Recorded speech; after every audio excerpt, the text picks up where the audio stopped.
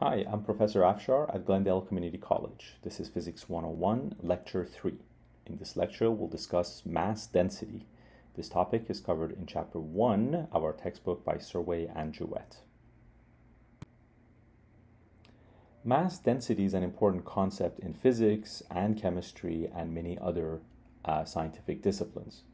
Generally speaking, mass density describes the amount of mass in a given region of space when we talk about the amount of mass, what we're really talking about is kilograms. We measure the amount of mass that a substance or an object or a body has in kilograms. When we talk about a region of space, what we're talking about is something that is measured in cubic meters or square meters or meters depending on the number of dimensions that the object occupies. For example, we might be talking about the mass density of this dough here. And as I look at this dough, I can see that this dough has some length, it has some width, and it has some height. So it occupies three dimensions of space. In that case, if, you, if I want to quantify the region of space occupied by this dough, I have to measure that region in cubic meters. On the other hand, if I'm talking about a piece of paper, the region of space occupied by this paper is really an area which is measured in square meters. To be sure, the paper has some thickness, but that thickness is insignificant or negligible compared to the length and width of this piece of paper. If you wanted to specify the size of this paper, you would probably ignore its thickness and say something like this piece of paper is 10 centimeters by 30 centimeters long.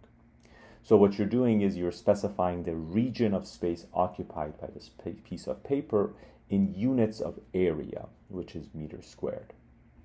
On the other hand, if you're talking about a rope or a thread or a cable, usually the thing that's important is the length of that thread or rope or cable. The thickness of it isn't that important. Sure, it has a certain amount of thickness, but compared to the length of it is quite negligible. In that case, the region of space that's occupied by this piece of thread here is specified in meters. So what this means is that there are really three different types of mass density. People sometimes forget to specify which type they're talking about, but if you look at the units that they're using, you'll see what they mean if you want to talk about the amount of mass that this dough has and the region of space that it occupies, you would talk about volume mass density and you would specify that quantity in kilograms per cubic meter. So the kilogram is the amount of mass and the cubic meter is the volume of the region that it occupies. On the other hand, if you want to talk about a piece of paper, what you really want to talk about is the area mass density, which is specified in kilograms per square meter. Whereas if you want to talk about this string here, what you really want to talk about is the length mass density, which is the kilograms of string per one unit of length per meter of the string. The concept of mass density is important because it allows us to figure out the total mass of an object, whether it's some dough or a piece of paper or a length of string. To calculate the mass, we need to know what kind of a mass distribution we have. If it's a one-dimensional mass distribution, like the string, then what we have is something for which only the length is important, and we can calculate the mass of that object, like this uh, piece of rope or string or maybe a thin rod, by integrating the length mass density along the length of the object. So here the Greek letter lambda denotes length mass density. It's something that would be measured in kilograms per meter. It's describing how much mass there is per unit length this is describing essentially a one-dimensional mass distribution. If the object that you're trying to describe, the object whose mass you want to calculate, happens to be a string laid down along the x-axis, then you can replace dl with dx, as in a small element of the length of this thing along the x-axis. And if lambda happens to be constant, so that the density of the string does not change from one point to another, you can bring that constant out. And then when you have an integral of dx, you just get x. You plug in the limits of integration from 0 to L, where that's the length of the rope or string. And what you find is that mass is equal to lambda times L. Sometimes people write this a little bit differently. Sometimes people write this formula by saying that lambda is equal to mass divided by length. But this, of course, is really the same formula we have found here. Note, however, that this formula is valid only when you have a uniform mass density. In other words, it's valid only when lambda is a constant so that we can bring it out of the integral. If lambda is not a constant, if we have a piece of string whose thickness is changing or the material of which it's made is changing along its length, then we must perform the integral. You can also talk about the two-dimensional mass distribution, something that has a length and a width, like the piece of paper we were discussing. In that case, if you want to calculate the mass of the two-dimensional mass distribution, you integrate sigma with respect to area.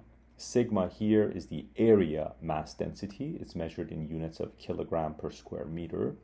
And dA is simply an element of area. It's a piece of the area of this object, for example, this piece of paper that we want to talk about. If the area mass density is uniform, in other words, if it's constant, and the piece of paper is laid down, let's say, um, along the x and y axes, then you can say that area is basically length times width, so x times y. But if we're talking about elements of area, then we can write dA as dx dy. And if sigma is constant, then we can bring it out of the integral. And then the sum of the area elements simply gives you area. So you find that the mass of the object is equal to its area mass density times its total area. This formula also is often written a little bit differently. It's often written as sigma is equal to mass divided by area, which is a perfectly valid equation so long as sigma is constant. So long as one point on this piece of paper uh, is not heavier than another point on the piece of paper. Notice that technically what we're doing here is performing a double integral we're performing an integration with respect to x and an integration with respect to y.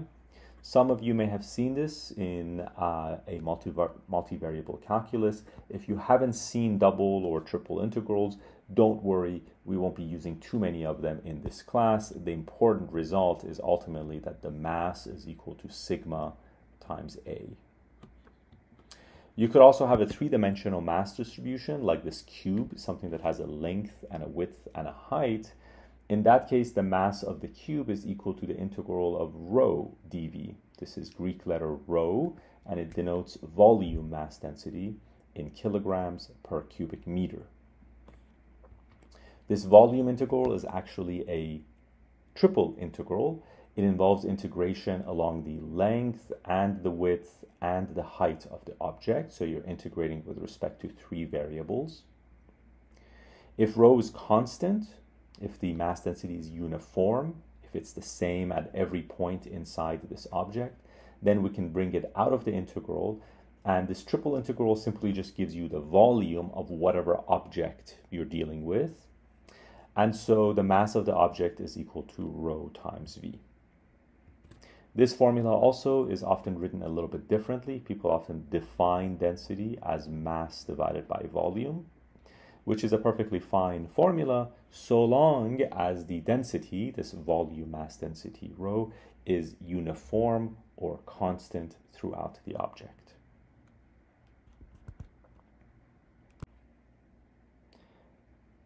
To better understand mass density, let's do a practice problem. A metallic rod has a length of 25 centimeters. The rod has a uniform length mass density of 0.45 kilograms per meter. Calculate the mass of the rod.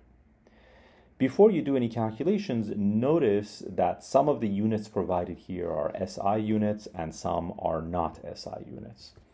The kilogram provided here is an SI unit. The meter here is an SI unit. However, the centimeter here is not an SI unit. So you should be prepared to do a conversion um, at some point during the course of your calculations. You should know off the top of your head that there are 100 centimeters to one meter. So you should be able to do uh, a conversion using this conversion factor here. Now also note that you are told the length, the length mass density is uniform. So uniform in this context means that the length mass density is constant. And what that means is that you don't have to do any of those nasty integrals that we were discussing on the previous slide. Here you can just use the easy formula. The mass of the rod is equal to the length mass density times the length of the rod. The length mass density, lambda, is given to you as 0.45 kilograms per meter. What that means is that if you had a meter long rod, its mass would be 0.45 kilograms. We're going to multiply that by 25 centimeters, but of course, after conversion, 25 centimeters becomes 0.25 meters.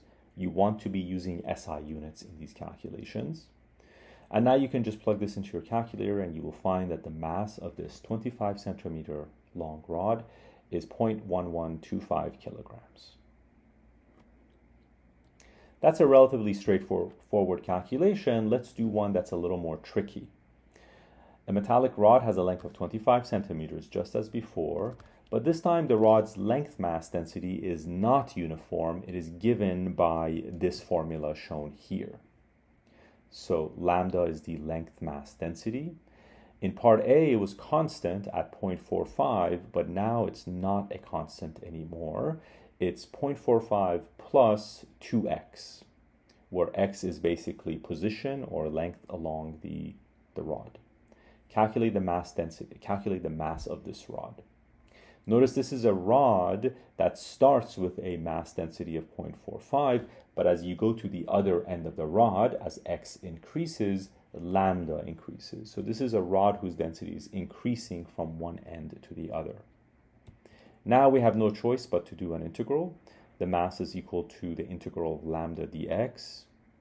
Be careful with the limits of integration. I want to integrate along the length of the rod. The rod extends from 0 to 0.25 meters or 25 centimeters.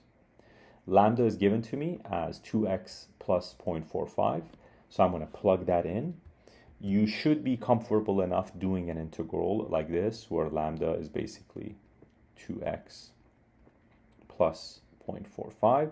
You can use something like the power rule to integrate this and when you integrate it you'll find that it's x squared plus 0.45x. Don't forget the limits of integration. We want to plug in these limits of integration and when we do we find that the mass of the rod is 0.175 kilograms. For this class on our exams, I will not be asking you to do double integrals or triple integrals, but I will be asking you to do single integrals of polynomials. I think that's a relatively easy mathematical skill that you should have, assuming you have completed Calculus 1. And that's the end of this lecture. Thank you for your attention.